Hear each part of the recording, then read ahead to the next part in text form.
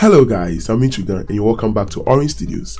In today's tutorial, I'm going to teach you how to remove a background with just a simple click. We are going to use just one tool and then we are going to take away the background, leaving the thin hairlines just as they are. So the first thing you're going to do is to drop your image into Photoshop.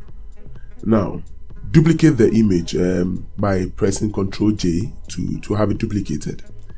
Now, the next thing you're supposed to do is to create um, a shape behind the image, a, a, shape with a loud color. See red, purple, green, um, neon, any loud color so that you can tell the difference between the hair and the background. So you can actually remove the white background or whichever color the background is from the the the the, the original. Now, so the next thing you want to do is to select the background eraser tool. So you would have to go to the eraser tool shortcut is e.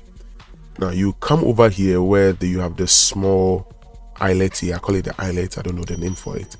But you click and hold on it then you have a, a drop down of other tools. So you'd have to select the background eraser tool and you see the eraser tool with the scissors there. Yes. So you have to select this and then we can now start applying so now what we have to do is to adjust the hardness of the brush to either soft or hard, depending on what you're working on or what, what works best for the image you're editing.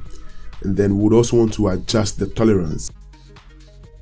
Now the next thing is to just go to an area uh, of the image you want to edit, press and hold on the Alt key, and then sample out the the color you want to erase the background you want to erase from the photo.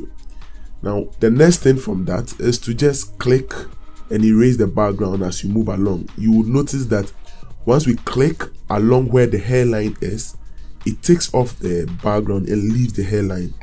So it's it's possible because photoshop identifies the area you sampled and the area you want to keep. So it will delete areas with similar color codes or color schemes and leave the areas that don't fall in that color region.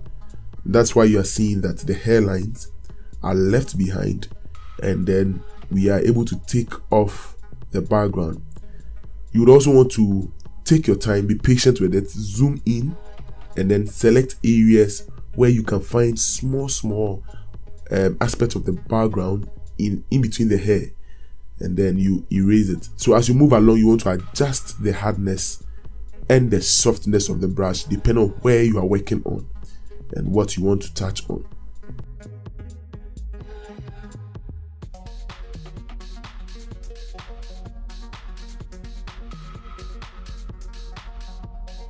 So it's this simple. I mean, you erase the background with just a click.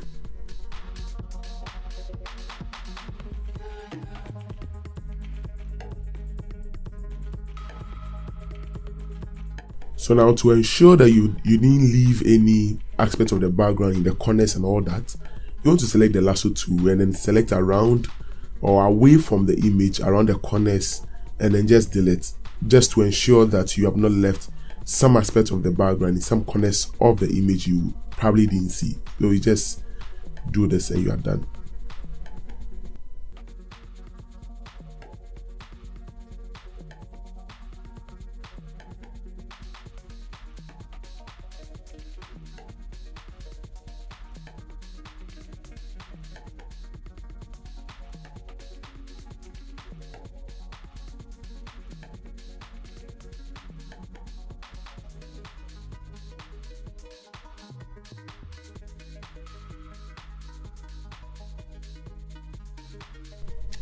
You can now drop your image in any background of your choice. I mean, if you were editing this image for a flyer or for a poster, a banner, or anything, or any design of a sort, you can just pick this image and drop and it will fit in any background because we easily remove the background.